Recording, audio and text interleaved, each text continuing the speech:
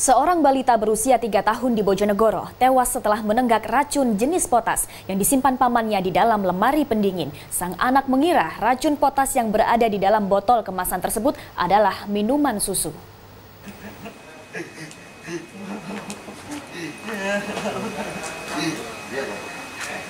Tangis Ali Masudi dan Widiana pecah setelah mengetahui buah hatinya, Wahyu Febri, terbujur kaku tak bernyawa di kamar jenazah Rumah Sakit Umum Sosodoro Jatikusumo, Bojonegoro.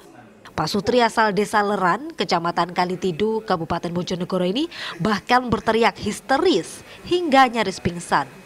Korban yang masih berusia tiga tahun ini mengalami kejang-kejang dan pingsan usai menenggak cairan racun jenis potas yang tersimpan dalam botol bekas minuman ringan di lemari es. Meski sempat dilarikan ke rumah sakit, namun upaya medis tim dokter tak mampu menyelamatkan nyawa korban. Anaknya kan habis sarapan, mm -hmm.